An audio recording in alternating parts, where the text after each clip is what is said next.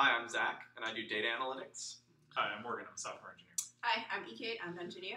Hi, I'm Sam. I'm sales and hardware engineer as well. And we are Token Transit. Uh, we make it so you can pay for the bus with your mobile phone. We love public infrastructure. We are filming this video in a public library. So, if you live in a city that's smaller than San Francisco, you pay for your bus, your bus with exact change.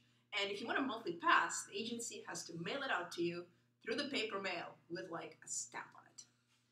So we're building a mobile app to let riders pay for the bus with their phone.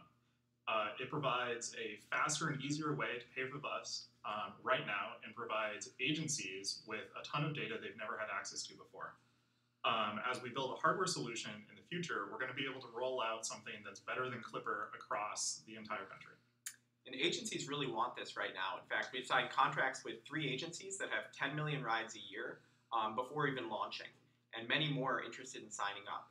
Uh, so our friends at Remix, which does transit planning software, had a great experience um, scaling to many agencies after YC. And we want to take our business from the 10 million rides we're currently going to provide to the 10 billion rides offered uh, in public transit across the U.S. every year. Uh, looking forward to getting started, and let's go ride the bus, guys.